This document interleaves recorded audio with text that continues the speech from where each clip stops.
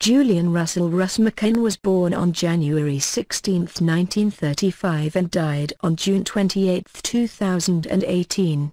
He was an American television and film actor and stuntman. He is best known for his work on Sudden Impact, 1983, and High Plains Drifter, 1973. As a teenager he excelled in sports at Charleston High School. At Hargrave Military Academy, he was captain of the football and track teams, earning him athletic scholarships at numerous colleges and universities. He chose to accept an offer from Virginia Tech. Volunteering for the draft in 1954, he spent the next three years in the United States Army and was honorably discharged in 1957. After leaving the service, he hitchhiked his way across country to California to become an actor. He died at 83 years old.